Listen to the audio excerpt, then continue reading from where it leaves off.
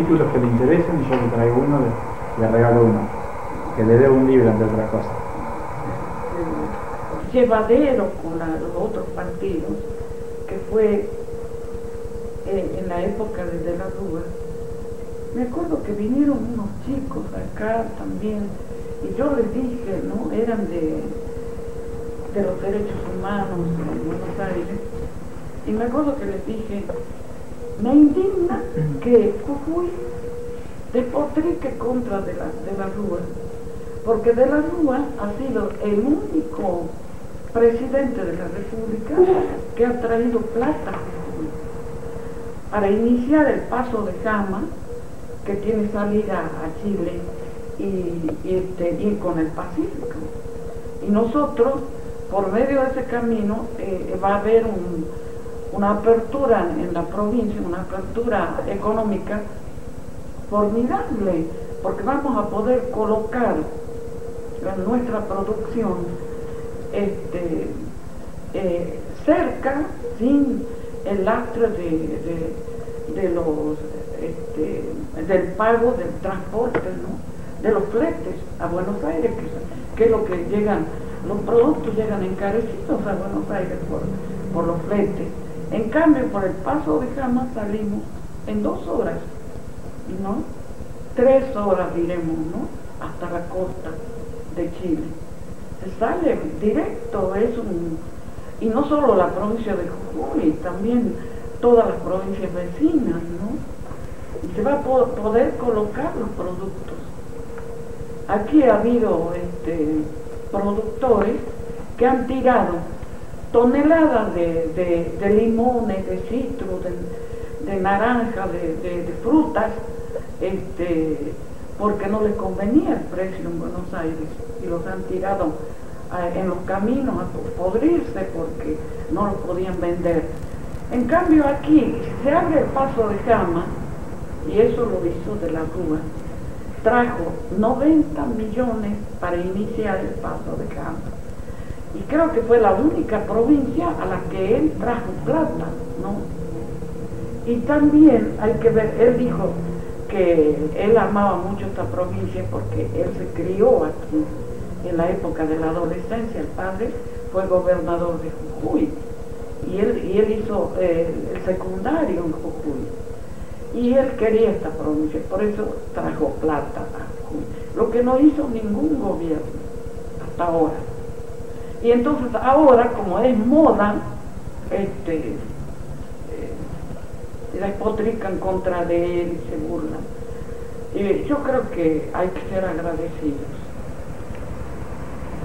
Y por otro lado, pienso que nosotros tenemos que hacer de aquí un camino que ya está todo pensado, un camino que sale desde Fraile Pintado directamente hasta, y bueno, este, eso es lo que digo sobre la situación económica. Estamos muy mal acá porque nuestra producción, porque aquí nosotros estamos con la, este, con, con la, situación de que no podemos progresar ni hacer una cantidad de cosas que necesitamos. ¿no? Bueno, este, ¿qué otra cosa quieren saber? De- del presidente. Así que ellos van progresando, pero la quebrada sigue igual. No han llevado ni siquiera ayuda para una este, explotación de cal que hay ahí, que tienen, necesitan este, una inversión, no sé qué cosa necesitan ahí. No, no hay plata para nada de la quebrada, pero eso sí, para ellos sí. Y, y no sé qué más les iba a decir para sacarle el cuero al gobernador. Sería importante, perdón, sería importante que las inversiones que se hagan en turismo, si es que se hacen en algún momento, sean para la gente, digamos. Claro. Y no, y no multinacionales o empresas Ellos- grandes. Ellos, por ejemplo, tienen eh, la instalación, no, no, no, gracias, no, no, no, la instalación de la conexión interior. El gobierno no le da crédito, eh, los bancos no le dan crédito por, por directiva del gobierno y no pueden conectar el gas. Todavía tienen que comprar la famosa garrafa para cocinar para los turistas, este, eh, eh, que cuesta eh, eh, mucho más que, que- que el gas, ¿no? Que el gas, si tuviera la instalación de gas, gastaban, pero lo mínimo, ¿no? Como acá nosotros. Así que ya una ayuda que podrían darle, de proporcionarle la ayuda de, la instalación del gas, no le dan, no le dan. Y, así en tantas cosas, no tienen crédito, no tienen... La puna sigue igual, la, siguen muriéndose los animales, están queriendo mm, hacernos comer carne de llama, de tan necesitados que están eh, en la puna, pero yo no como carne de, de llama ni aunque, ni aunque me, me- me muera de hambre, no, No sé por qué le tengo aprehensión a la carne de llama. ¿Ha comido alguna vez carne de No, llama? no, no, no. Dicen que es rica, ¿no? Este, yo no, porque la veo me después de todo, este, digo, a lo mejor eh, este hombre tendría cosas más urgentes. Eh, fue el de Brasil y, este, y como hay un parangón entre los dos países, se miran uno al otro a ver qué hacen. Entonces yo decía, bueno, te ganó Lula, ¿no? Pero, este, pero ya cuando fue para la, la Asunción, eh, dije yo, ahí lo vi como muy alemán. Sí, igual a mí me, me gustó mucho personalmente, ¿no? No estoy hablando de los chicos. el- en la familia eh, de los Goldman, ¿no? El, eh, el varón, el marido, el príncipe consorte, tomaba la- las riendas del ingenio. Entonces eh, sube Blaquier y al morir Arrieta, ya lo dije, ¿no? Murió en 1970. De ahí viene el poder de los Blaquier aquí en, Ledesma. Y bueno, eh, el- sobre el ingenio Ledesma, tengo que decirle que la muerte de Olga Aredes por, por este, ¿cómo se llamaba la enfermedad? Eh, Gavasosi, que venía del bagazo, ¿no? Este, parece que algo hemos logrado con el ingenio, porque cuando se inició, ahora en mayo se ha iniciado la cosecha, este, el nuevo administrador, un tal Gatti, no lo conozco yo, este, eh, dijo, em, estamos tratando de hacer algo por, por el medio ambiente acá, dice, le dijo al periodista, ¿no? Y usted venga a ver, hemos puesto filtro acá, filtro acá, filtro acá. Le mostró tres filtros. Es cierto que cae menos eh, carbonilla, no se nota, ¿no es cierto? Pero cae, cae todavía. Yo lo noto en la ventana de mi cocina, ahí se ve todavía que hay, hay este carbonilla. Pero mucho menos. Otros años, pero no podíamos este, vivir, ¿no? Aquí con la carbonilla. Eh, se nos asentaba hasta en la comida. Había épocas en que era terrible. ¿Quieren este, agua caliente para el mate? Vamos, vamos a poner, tengo gas y en la cocina. No, Anda, pero Dora, no poné vos que conoces mi cocina. Antes de- del siglo XIX, ya vivían en el ingenio, cuando nació mi mamá, que nació en 1905. Y este, mi abuelo llegó con contrato acá como, eh, como capataz de surco. Era un gaucho de caballo de, de Salta, gaucho salteño, de Cerrillo. Y, y- y era capataz de surco. Ahí él- él- y, y de látigo. Era la época en que se manejaba a los niños a látigo. Y este, pero él andaba con indios por todo, él, iba a traer ganado de otros lados para el ingenio, de acá y de San Pedro. Así que era uno de esos gauchos avesados que andaba con los indios, que en la época que no había eh, este, puentes ni camino, ni, ni, ni tren, ni nada, que, que era cuestión de abrirse camino por donde iban.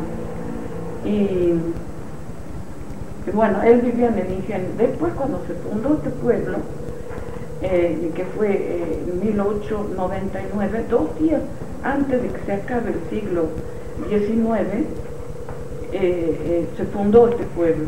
Entonces ellos compraron un terreno allá que estaba tan barato que valía 10 centavos el metro cuadrado. Entonces hicieron eh, construir una casa ahí. Eso lo cuento yo en mi libro, pero no digo de quién lo sé, ¿no? Este, y lo pagó porque era en la época del trueque, todavía no había plata aquí, no llegaba la plata hasta aquí.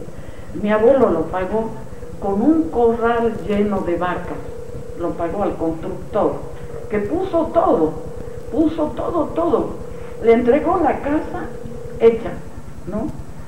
y, este, y lo pagó con un corral lleno de vacas. Con eso le estoy diciendo cómo se manejaban en aquella época. ¿no? Bueno, mi mamá nació ya acá en este pueblo en 1905 y ella era una jovencita este, y mi abuela eh, venía de, de Chicoana, de Salta, era salteño, como los dueños de los ingenios, los fundadores de los ingenios eran salteños.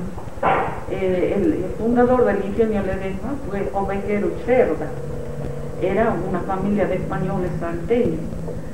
Los ovejeros vivieron en, en- este pueblo, no, eh, fundaron el, el ingenio Ledesma este, en 1836 fundaron y lo vendieron al ingenio a Enrique Goldman en 1910. Así que ellos tuvieron una larga trayectoria en el ingenio, explotación del indio, y- pero trajeron gente de del Valle Calchaquí, de todo lo que es Chicoana, este, todo el valle hasta llegar a Catamarca, Tucumán, Catamarca, todo lo que es el Valle Calchaquí.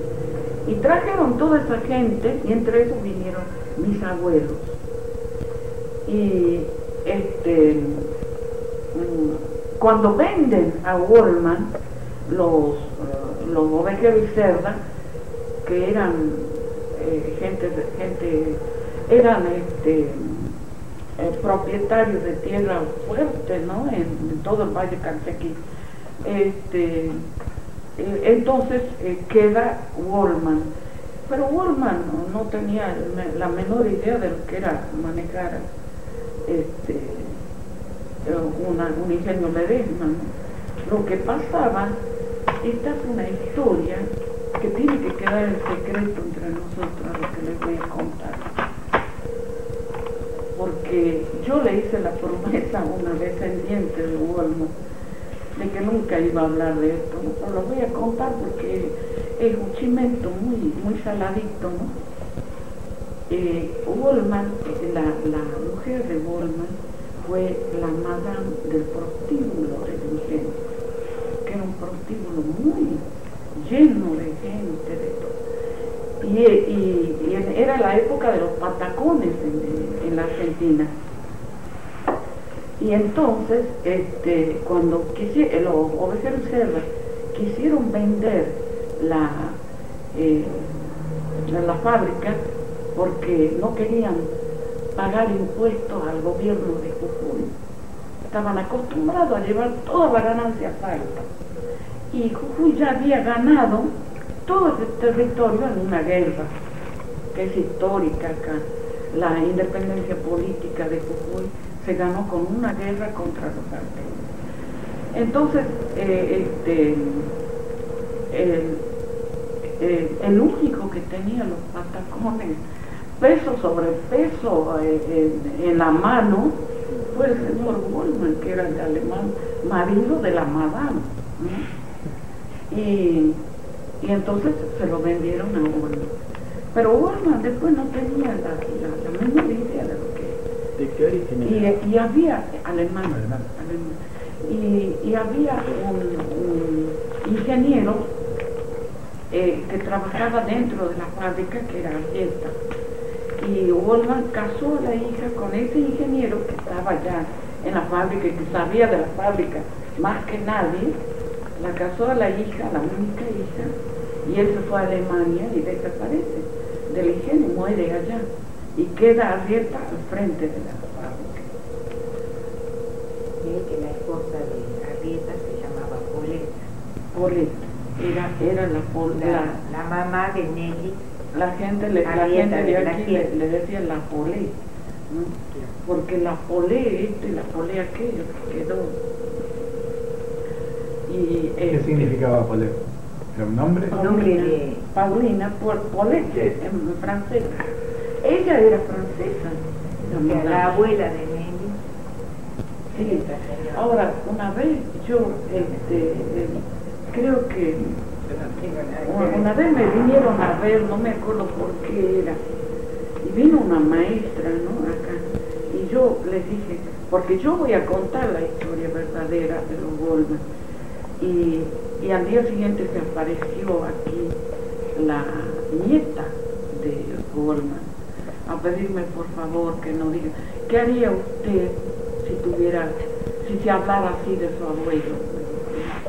Le digo, sí, sí, no. Nunca lo conté, lo vuelvo a contar ahora.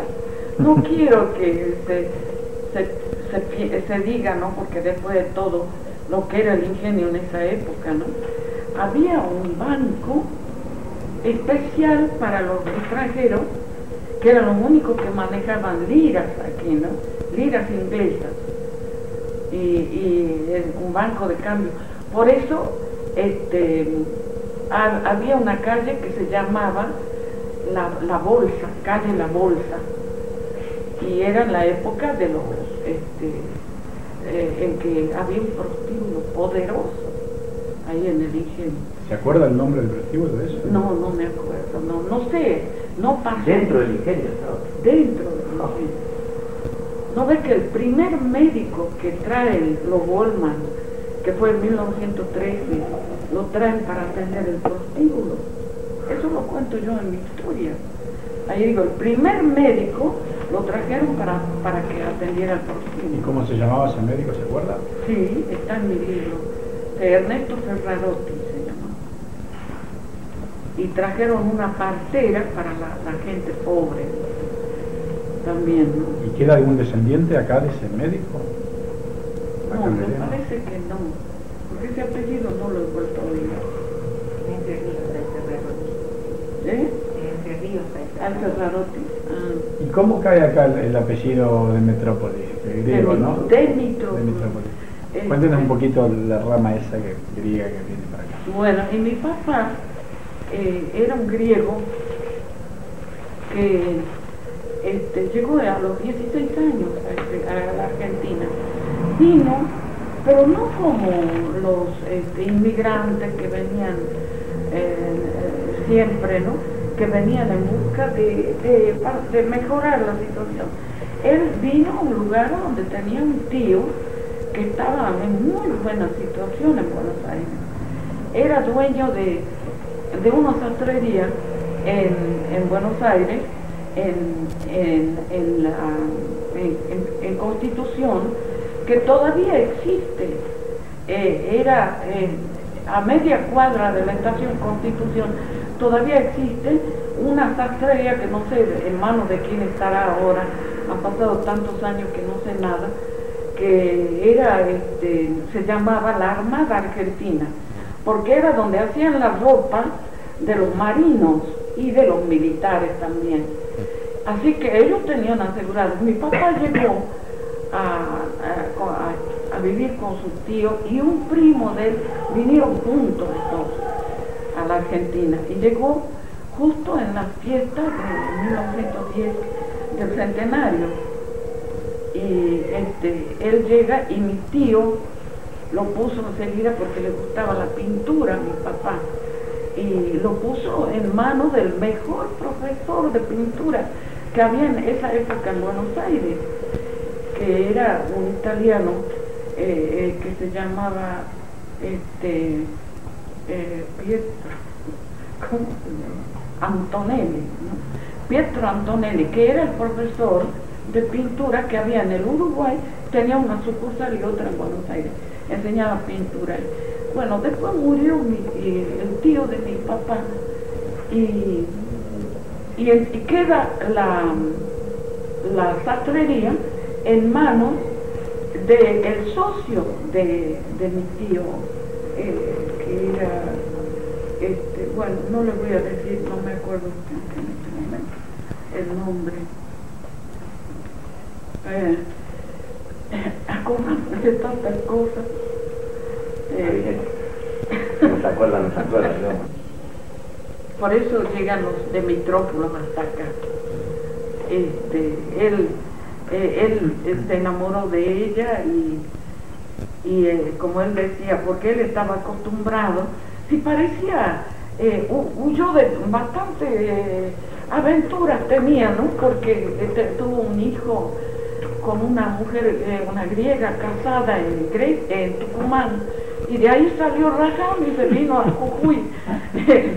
y de, de Jujuy, por eso yo le contaba la historia a, a una, a una so- so- eh, sobrina nieta que tengo, que quería, tenía que hacer un trabajo para la escuela, y vino acá, tía, quiero que me cuentes la vida del abuelo. Y entonces le conté la vida del abuelo con lujo de detalle, ¿no? Y ¿y ¿qué pasa? Que este, la chica, el trabajo que hizo fue que su abuelo era un verdadero sátiro. Y yo me reía porque, digo, y todo lo que tenía el abuelo de, eh, eh, de su cultura, de, de la pintura, la escritura, cuando nosotros éramos chiquitas, éramos tres así, ¿no? Eh, la, más, eh, la más grande tendría cinco años, tres y dos, llevábamos por dos años, tres mujeres, nos enseñó el, el himno nacional griego, este, bueno, eh, eh, era todo, todo Grecia, ¿qué es? ¿Eh? Bueno, voy a tomar porque Tomen ya- porque si no se va a quedar seca y... Nosotros. Él preguntó, ¿por qué se llama Ledesma? Y nadie sabía, nadie le sabía contestar. Entonces él empezó una investigación. Después se hizo muy amigo de un eh, cura, un monseñor eh, catamarqueño, que escribió la historia de Jujuy, mm, este, con- investigada en, Europa, en- en Andalucía, en el archivo de India. Se hizo amigo, le enseñó a manejar los archivos. Mi papá aprendió y descubrió todo y fue el primero que empieza a hablar sobre la historia de este pueblo. Así que, bueno, ustedes ya querrán ir a comer, yo no los voy a invitar porque yo no, ya les digo que tengo mi heladera. Vinimos a escucharla a usted, mire, así que hable todo lo que quiera, cuando usted se canse nos echa y listo, pero por ahora hable. Perdóneme, eh, me interesó lo de la historia de Ledesma, por qué se llama Ledesma este lugar. y- Siga contándonos eso y cuando se canse nos echa. Y tomamos una mate y nos, y nos preguntamos. que vive en Salta y que lo puso sobre, sobre el camino, ¿no? Este, ¿Por qué se llama Ledesma? Porque así se llamaba el español que colonizó todo esto, que entró acá ah, en esta zona, un español que se llamaba Martín Ledesma Valderrama y que fundó el fuerte Ledesma en esta zona y fundó una ciudad muy linda, muy importante, que quedaba cerca de Orán. Por ahí quedaba la ciudad Santiago de Guadalcázar, se llamaba la ciudad, que eh, era en honor a que era el virrey en esa época en español. ¿no? Y, eh, pero él fue arrasada por los indios, desapareció. Santiago de Guadalcázar, igual que, que fuerte de Ledesma. Y este Ledesma, después el virreinato lo manda como gobernador de, del Paraguay. Y ahí él, él funda este, el Villarrica del Espíritu Santo, que Villarrica, que ahora es una de las ciudades más importantes del Paraguay. Este, eh, por eso él todo eso lo investiga. Investiga la vida de, de Ledesma Valderrama, mi papá. Y todos esos papeles los dejó. Pero yo este, era pintora, yo era artista plástica. De escribir tenía una hermana escritora, Libertad. Porque cuando nosotros éramos chiquitas, él nos marcó el destino a las tres. A, Libertad le dijo, vos vas a, ser, vas a ser escritora. A mí me dijo, vos vas a ser pintora. Y a la más chica, Irene, vos vas a ser maestra, profesora, ¿no? Y eso fuimos en la vida, ¿ves? Así ha sido. Pero yo era una artista plástica que de escribir no me gustaba, ¿no? De escribir, pero fui una sobreviviente de mi familia. Hasta el día de hoy, este, solo me queda un hermano y yo sigo vivita y coleando, ¿no? Aquí, que yo no sé por qué, es un misterio, ¿no? La, la, la vida, ¿no? Somos hermanos. Eh, eh, eh, y por qué unos han tenido más vida que otros, no sé. Pero yo sigo acá, ¿y qué le voy a hacer?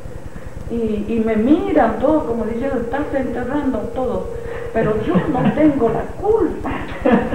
Yo hubiera dado qué para ser yo y no mi hermana Irene o mi hermana Libertad. ¿Y tiene sobrinos? ¿Tiene, Tengo, sí, sobrinos? tengo numerosas familias, pero no viven acá. Viven en Jujuy, en Salta y en Buenos Aires. ¿Y de- desde cuándo se dedica a la pintura usted? Desde chiquita, si él fue mi primer profesor, mi papá. Si no, ¿de dónde? Y los libros de arte de él fueron los primeros que vi en mi vida, porque aquí, ¿dónde íbamos a saber lo que era pintura, pintura al óleo, este, dibujo, todo eso? No había nada. Este era un pueblo que, que, que, que no tenía absolutamente nada de lo que se llame cultura, ¿no? Pero él lo traía adentro. Sobre eso, mi sobrina, la que hizo ese trabajo, no cuenta nada. Lo que cuenta es de- de, Del sátiro. del sátiro. y él, él también fue el descubridor de, de la yunga de acá. Eso también lo tengo en mi libro. Yo le hago justicia a él en mi libro, ¿no? Porque él es el que dejó todos los, este, los papeles y todo. Aquí estoy hablando para los codos. ¿La vecine? No, no, no la vi. No nos vemos casi, ¿no? No.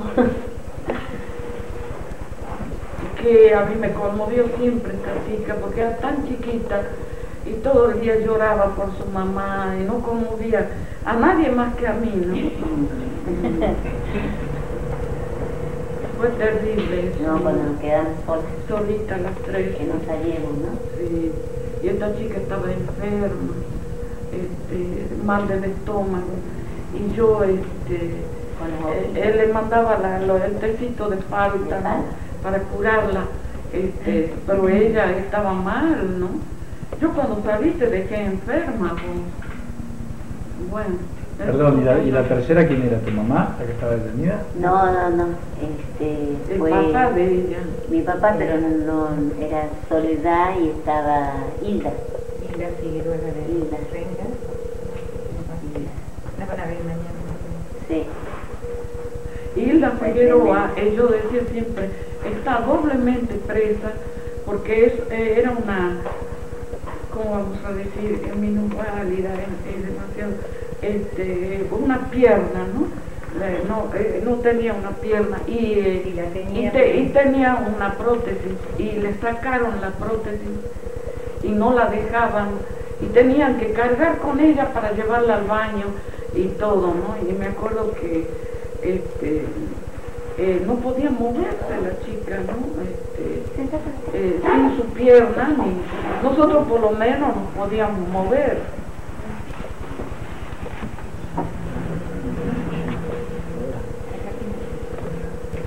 Ay, aquí estoy hablando, pero Me ya... acuerdo del dibujito que había hecho, ¿te acuerdas? Sí, me- El me- indio que tocaba el... Sí, uh, qué tanto ahí. Les regalaba dibujos a todos, a todas las chicas. Y a todas, incluso hasta la celadora. Y hay una celadora que, que se portó bien conmigo, que una tal Gla- Gladys se llamaba, que fue la que le avisó a mi hermano que me dejaban libre ya. Le avisó por teléfono y él estuvo en la puerta del penal este, esperando que yo salga tres noches y tres días. Estuvo ahí esperando eh, para, para traerme hasta la casa. ¿no? Bueno, esos son momentos muy feos, muy feos que yo digo, no, este, si hay que dejarlos de lado, se los deja, que se va a hacer?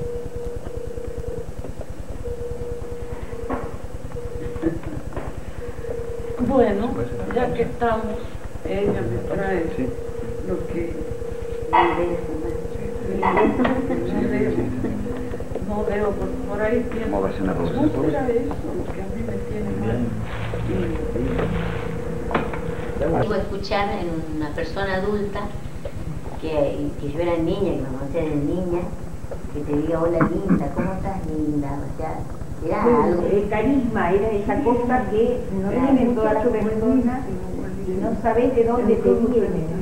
Sí, sí, en, en el video de Diablo, Familia y Sociedad, cuando aparecen las imágenes, o sea, se lo ve como un tipo bonachón, Sí, o, sea, sí, ya, o sea, la figura de él era... No sí. se enojaba que nos hubiéramos quedado sin papá. Era un luchador contra el ingenio, mi papá.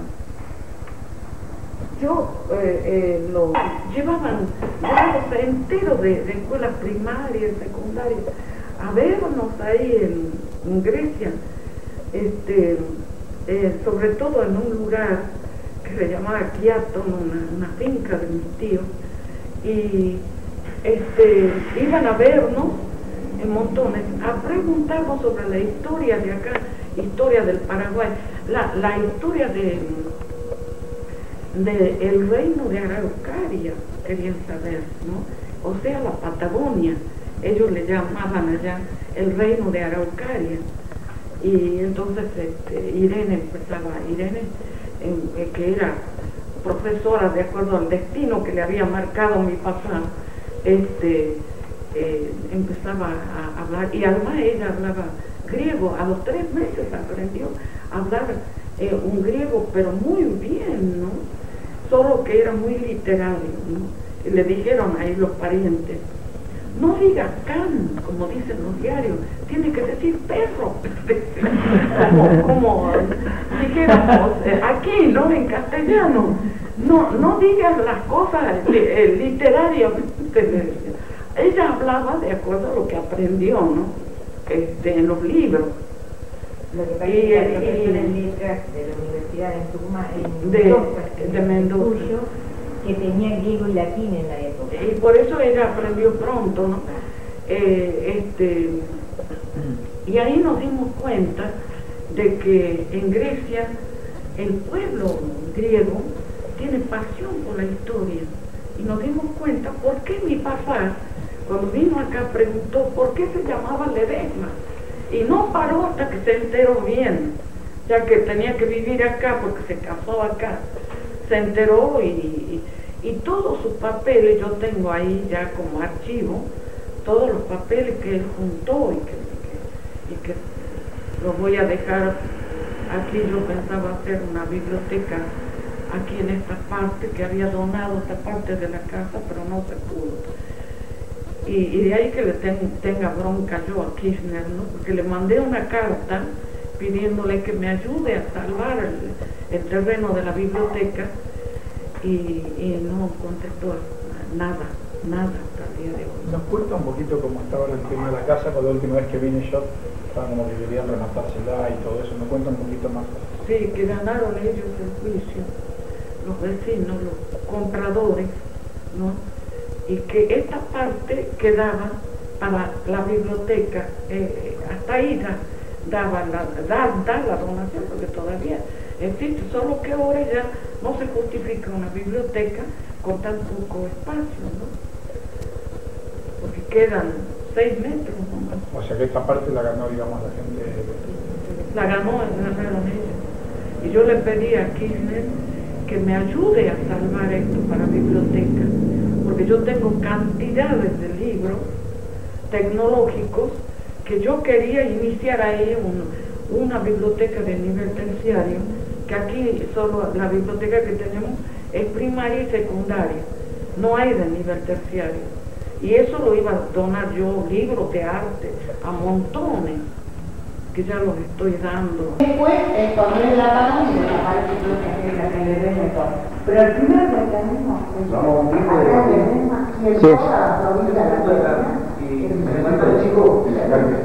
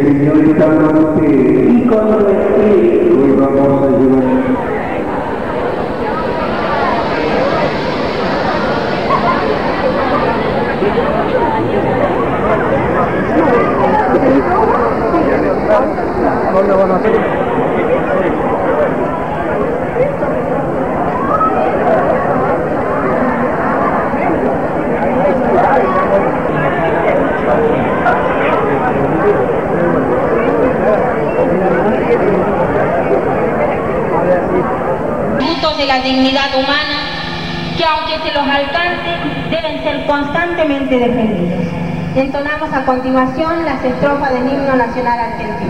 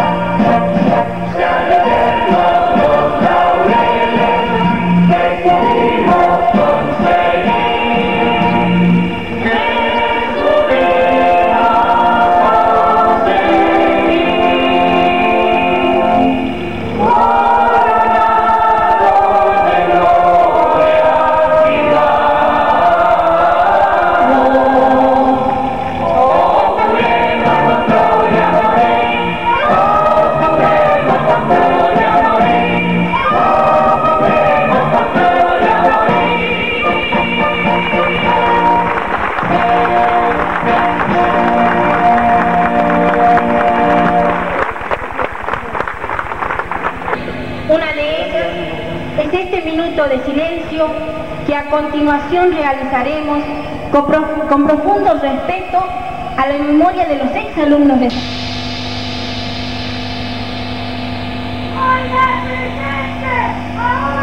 Y siempre, y siempre.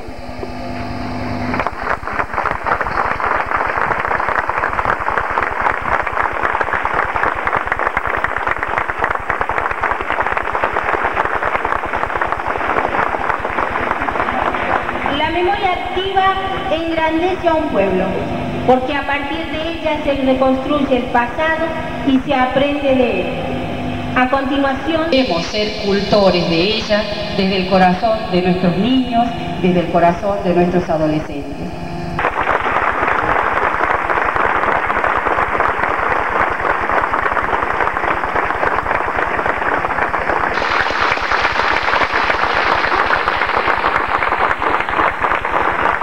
Artículo 2.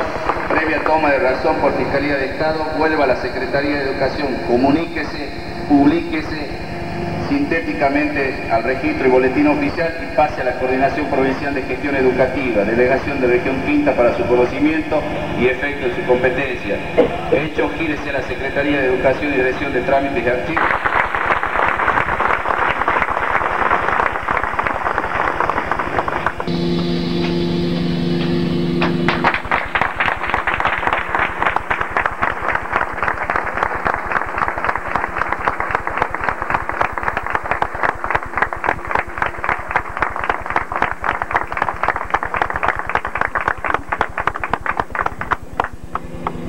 Maria!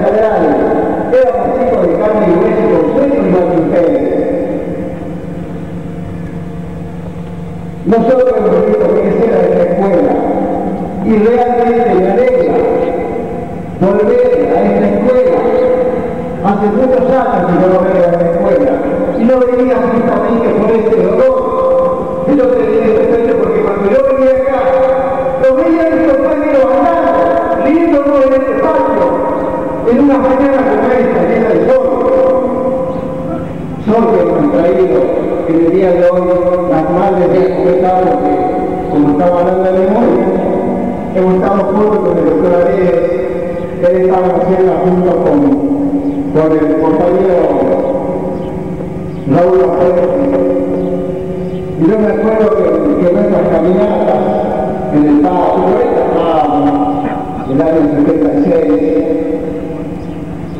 y una de las cosas que nunca me olvido, que me dijo el doctor Luis, Rufino, puedo tragaste de una estas cosas que toda persona siempre encuentra en su juego, de un tiempo, la empresa, es un monstruo grande y pisa fuerte la dignidad de los inocentes.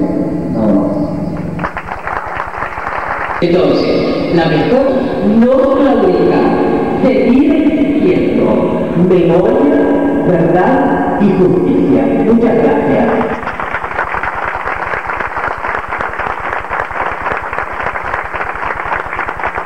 Quiero recordarles simplemente que hoy hacemos nuevamente la marcha. No comprendía nada que era la, la marcha, qué significaba la semana de Plaza de Mayo, aunque muchas veces lo he visto por televisión, la lucha constante de aquellos años. Y ahora un día me dice, Melinda, ¿cómo estás? Y Yo digo, aquí estoy. ¿Y cómo está la comunidad?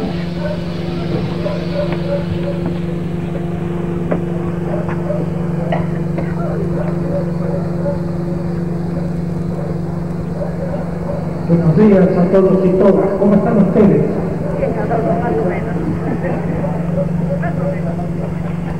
Más o menos para todos.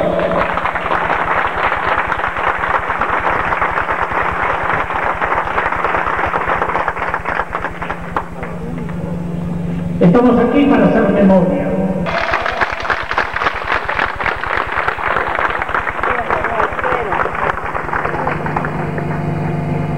Y hoy tenemos que hacer memoria también de esos médicos que acompañaron la tortura para que no se vayan los prisioneros y para que poder seguir torturando. Situación de pobreza, el alto índice de desempleo. Tenemos que también hacer memoria quiénes saquearon el país sacaron los del país. ¿Quiénes son los responsables de la muerte de esos niños en nuestro país? Y nosotros tenemos que buscar la verdad, la justicia, el respeto, porque si no, no podemos construir una democracia. Cuidado, estamos en época electoral. Y la democracia no significa votar. Esto es un ejercicio del hacer democrático, pero no es la democracia. Y además hay que impedir que compren votos. Hay que impedir que utilicen la desesperación. Una querida compañera de lucha porque quisiera compartir con ustedes dentro de esto que dice. Olga tenía muy claras las cosas para iniciar. No es la única, hay otras, como la forma Mercedes Benz, y podríamos seguir señalando se ha iniciado una acción judicial.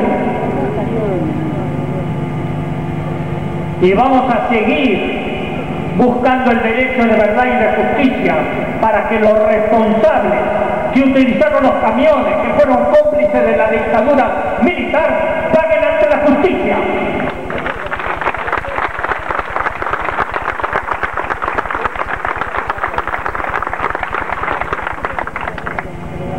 Yo me he presentado en ese juicio también como amigo como amigo de la causa, porque vamos a acompañar ese proceso y le pedimos a los jueces responsabilidad con el pueblo.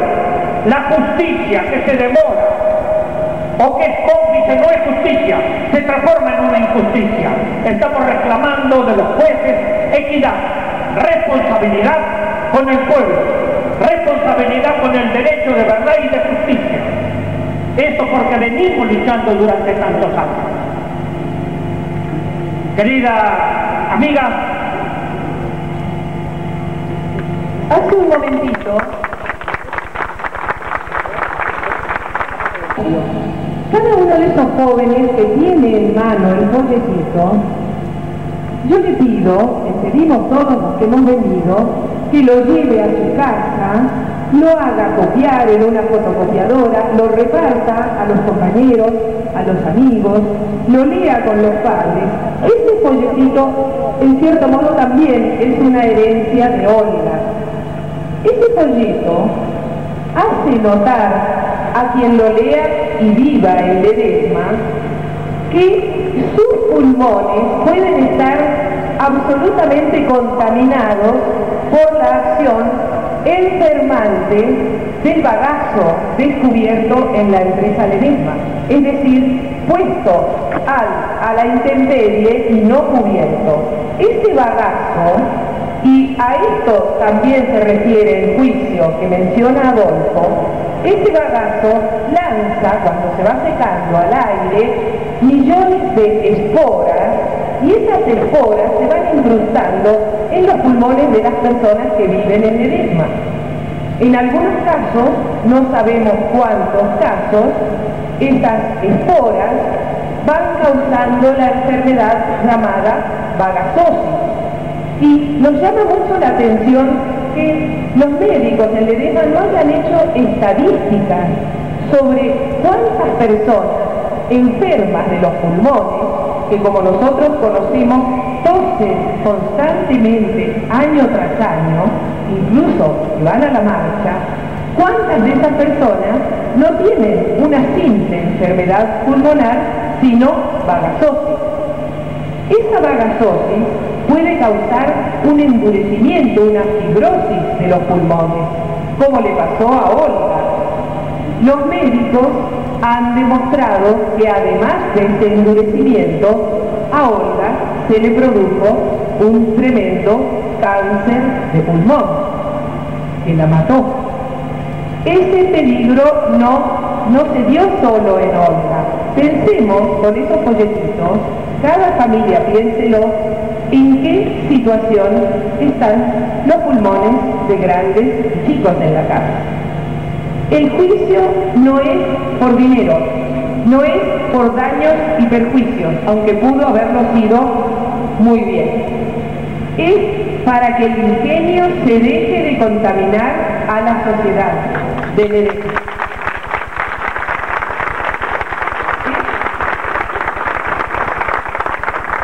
El supremo gesto de generosidad de Olga, que pensaba en ustedes, que pensaba en la gente de Ledesma, pensaba en la salud tan, tan atacada por esta acción contaminante.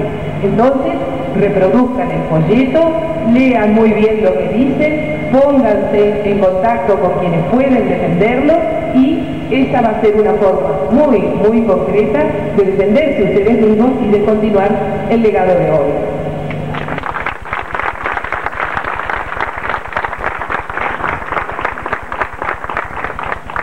Quisiera tener una palabra para los chicos y chicas que estudian en la escuela, esa escuela donde Olga enseñó y donde en este momento tan generosamente nos abre las puertas. Siempre esta escuela tuvo las puertas abiertas. Decirles que educar es tomar conciencia para que sean hombres y mujeres para la libertad no para ser esclavos, para la vida, para el derecho. Y todo esto que se viene haciendo es para que ustedes le puedan sonreír a la vida, que no pasen los horrores que han pasado nuestras generaciones, sino que le puedan sonreír a la vida. Es lo que acaba de decir la compañera Entréguenle a sus padres ese folleto, multiplíquenlo, porque es muy importante. Esto fue una preocupación permanente de Olga para cuidarlas, para que ustedes crezcan sanos, no solo en cuerpo, sino también en espíritu. Seguiremos la lucha, estamos aquí para reforzarnos para fortalecernos espiritualmente y socialmente y para construir una patria grande, esta patria que hicieron nuestros, eh, nuestros libertadores, la patria de América Latina, la patria de los pueblos en su diversidad, pero también en su unidad. Hasta la victoria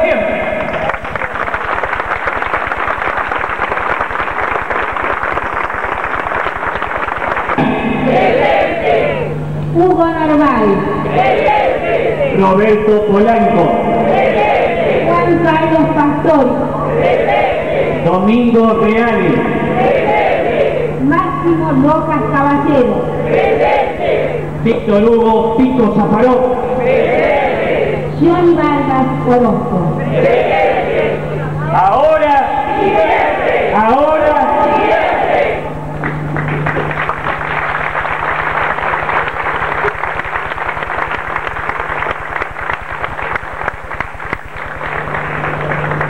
Luego de esto vamos a proceder a un receso para el almuerzo. Invitamos a todos a partir de las 3 de la tarde desde Canilegua a iniciar la caminata y una pregunta que nos hacía mucha gente. Una pregunta que nos hacía mucha gente, ¿dónde se van a esparcir las cenizas de Olga, por favor? Va a ser en Plaza Central aproximadamente a las 18 horas. Libre está en la lucha solidaria de toda comunidad. Ha pasado mucho tiempo y es loable destacar que la tarea emprendida sus frutos puede mostrar en la social. La cruz que inscribe sus nombres ningún hierro imprimirá. Solo la voz de los hombres dirá esto, nunca, jamás.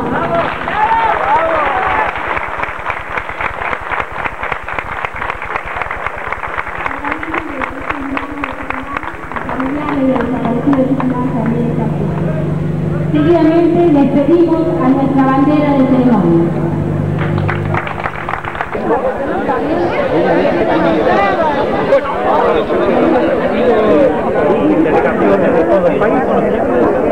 Lo que pasa es que el año pasado eh, estábamos en vacaciones, por esa razón no estaban los chicos. Este es el desde que se hace esta conmemoración que coincide con que hay clases.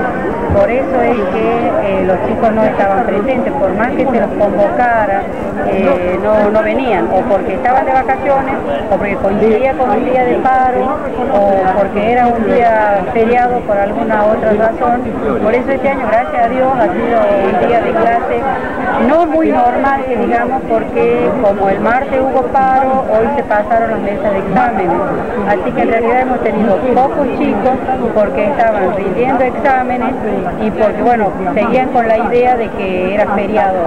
Mañana es paro, entonces los chicos directamente han tomado la semana completa de, de descanso.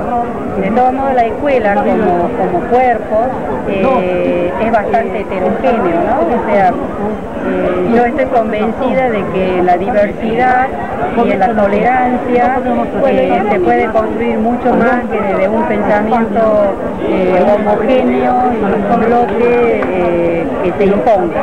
Así que en esta, en esta convocatoria muchos profesores no están, otros que no tenían clases sí han venido, pero bueno, eso es parte del, del juego. Ustedes me deben haber visto que yo recorría mirando, bueno, eso precisamente para ver quién está y quién está. Otra preguntita, ¿vos crees que el paro tenga algo que ver con que el paro... De manera que a mí me parece altamente simbólico esto de que eh, la biblioteca lleve por nombre eh, parte de Olga Aredes. Y en, y en las materias de historia argentina, ¿se les enseña algo sobre el parón acá en esta escuela? Eso depende de cada profesor, te vuelvo a repetir. Yo sigo convencida de que en la diversidad, en la heterogeneidad, está la riqueza de los aprendizajes. Te digo algo muy sencillo que me decía recién un alumno. ¿Cómo es que defienden los derechos humanos de, de- de la eh, del medio ambiente? Me están echando el humo cigarrillo en la cara. Y bueno chicos, los seres humanos somos contradictorios, observen y no hagan lo que. Muchísimas gracias. Al contrario, a ustedes. el.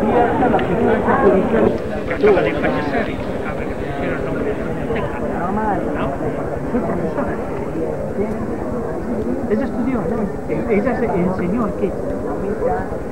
¿Entendés? Y, y Olga fue una luchadora reclamando el derecho de verdad y de justicia. Y pensando mucho en los asesinatos, violaciones, desapariciones. Hasta las madres, las Acá viene gente de todos lados, Ah, bueno. Ya no voy a cantar, hermano.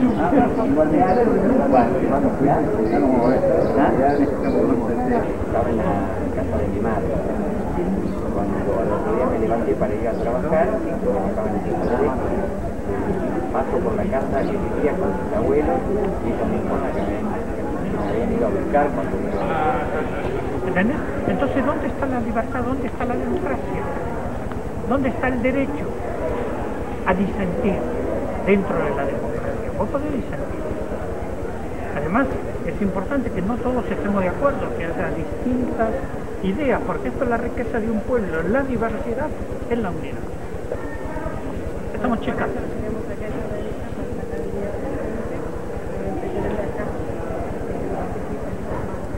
Bueno, es un trabajo que hay que hacer. Ledesma, eh, que estuviste comentando sobre.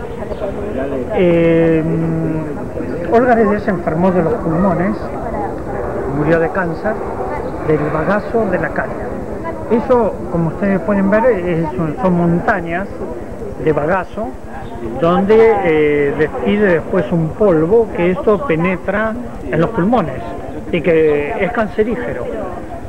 Entonces, Olga, antes de morir, ya estaba muy enferma, inició un proceso judicial a la empresa Ledesma para que eh, cambie ese sistema. No se está pidiendo eh, una indemnización económica, aun- aunque se podría. Y eh, yo, lógicamente, que también me he sumado a esta causa. Eh, ¿Tenés información sobre gente que haya muerto por la misma enfermedad y si hay más gente iniciando el juicio a la empresa?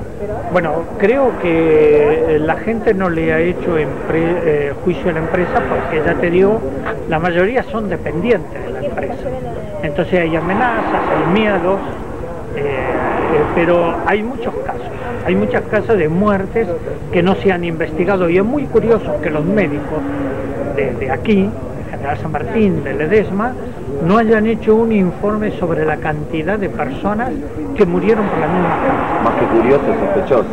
sospechoso, ¿no? Pero este, creo que, que esto, esto es grave. Muy bien. Entonces, eh, es- en este momento estamos como tratando de avanzar sobre esto. Esto fue la última voluntad, porque dos días antes que muera,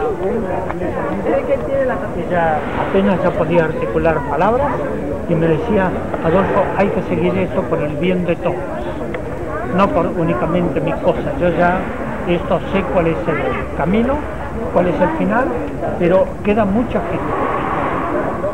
¿Cuándo La voluntad de Olga. Olga está presente y vamos a seguir eh, trabajando para que el pueblo, General San Martín, la empresa de Ledesma, cumpla con sus obligaciones. Vale, vale, vale. Entonces, Bueno, salió con fritas. Ujú. Espera, espera, espera.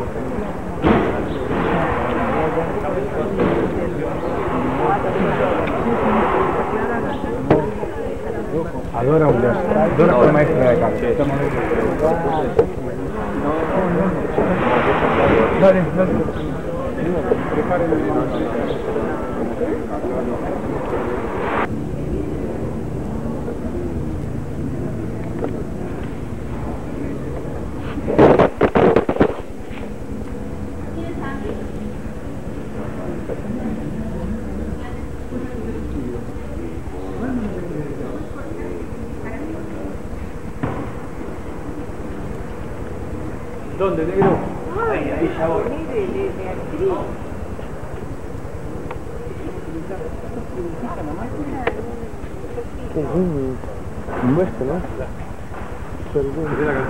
Tu paso acá por la escuela, más o menos en qué año fue, y bueno, ¿qué recuerdos tenés?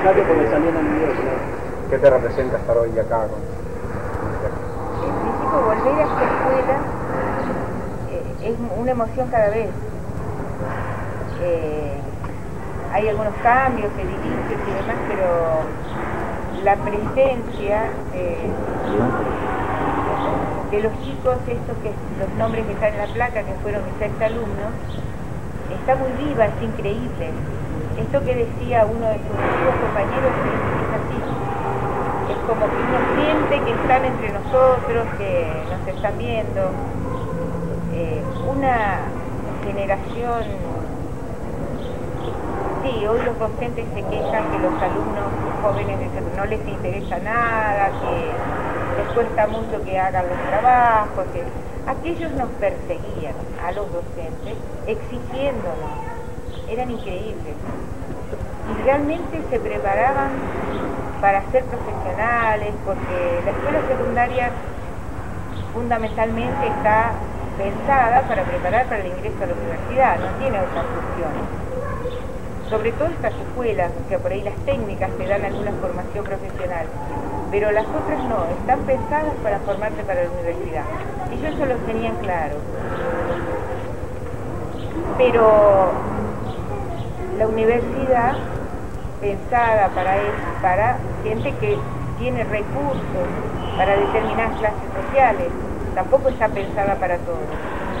De que ellos siendo hijos de obreros, hijos de empleados del Edesma, que vivieran en una villa, porque aquí no había vivienda, estaban rodeados de cañaverales, o sea que había unas villas enormes, esos chicos pensaran en su futuro y en el del país y quisieran prepararse para ser profesionales al servicio de su pueblo, era insólito.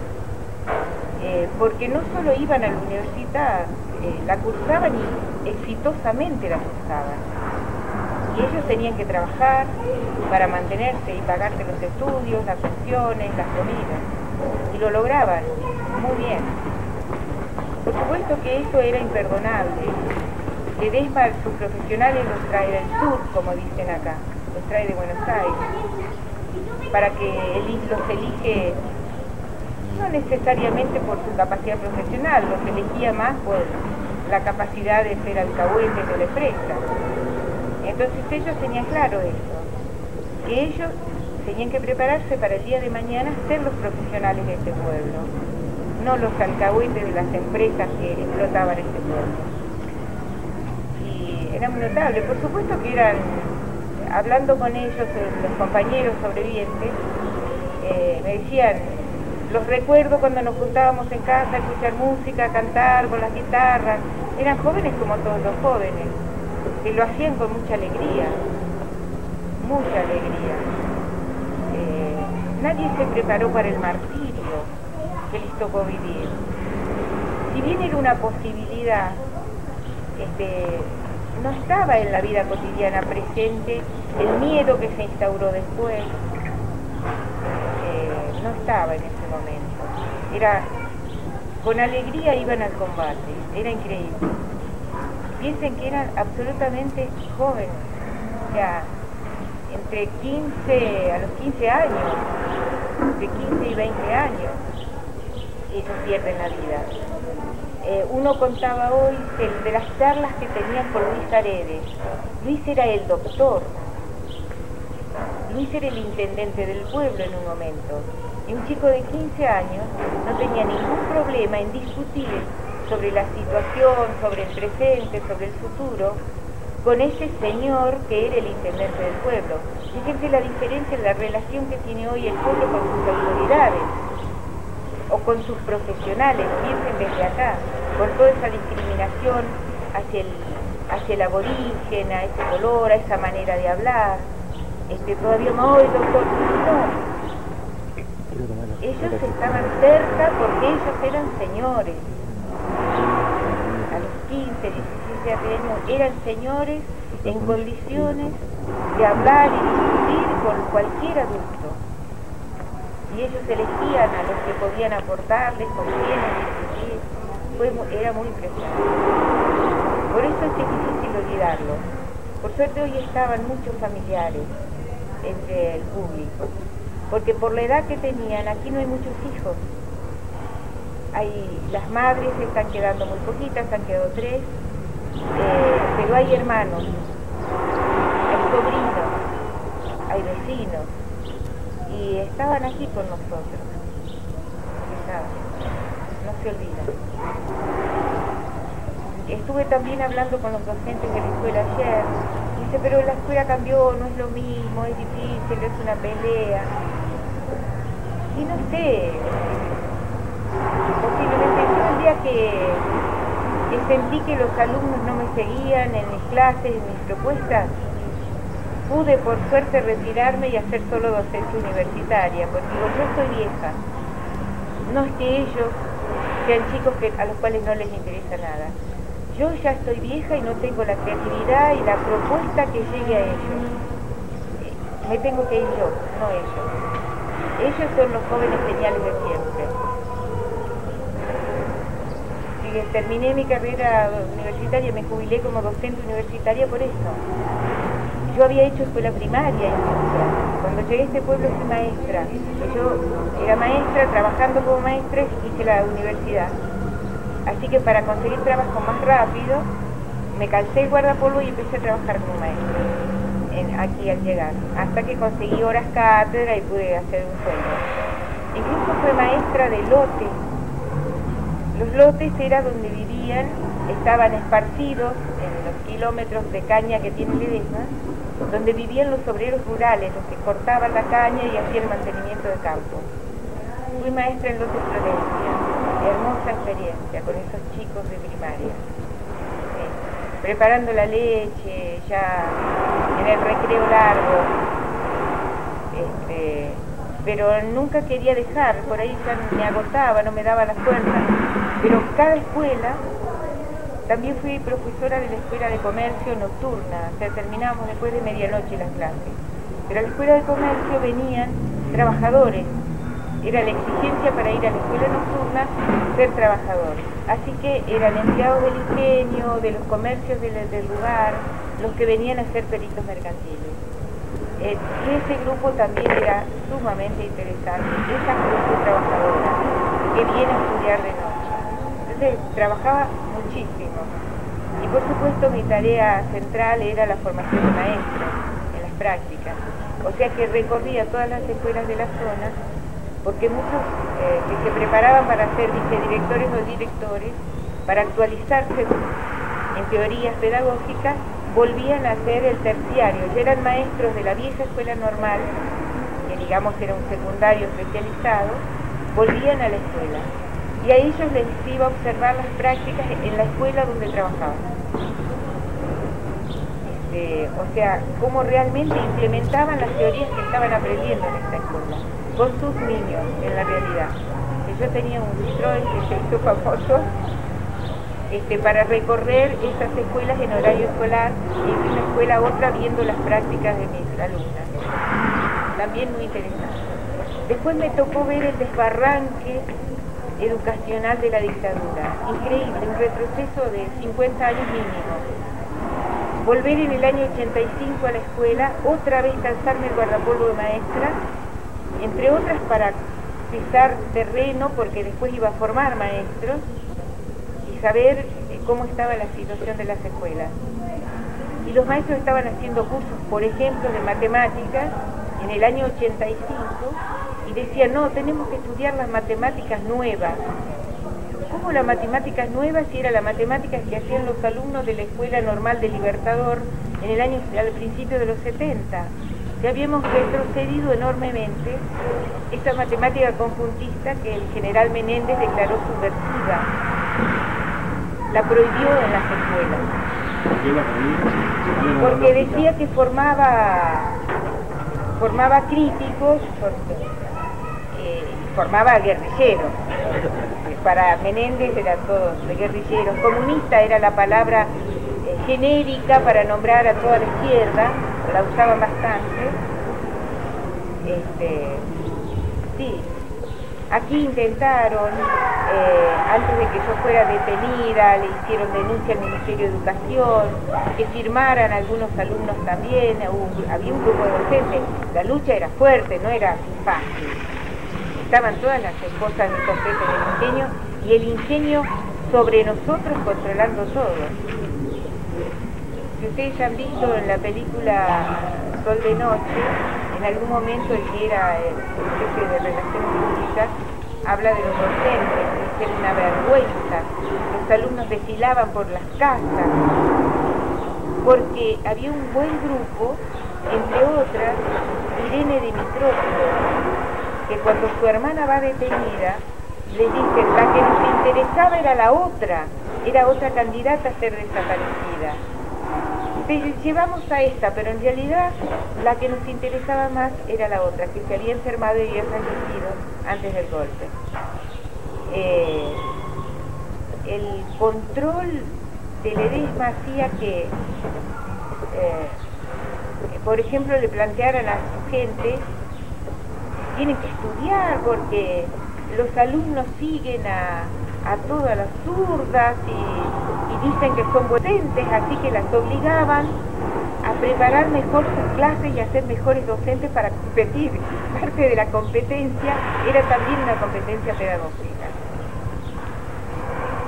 Eh, yo quisiera saber, desde tu punto de vista, qué pasó con la relación entre la empresa Ledesma y la comunidad desde que terminó el golpe de Estado hasta hoy.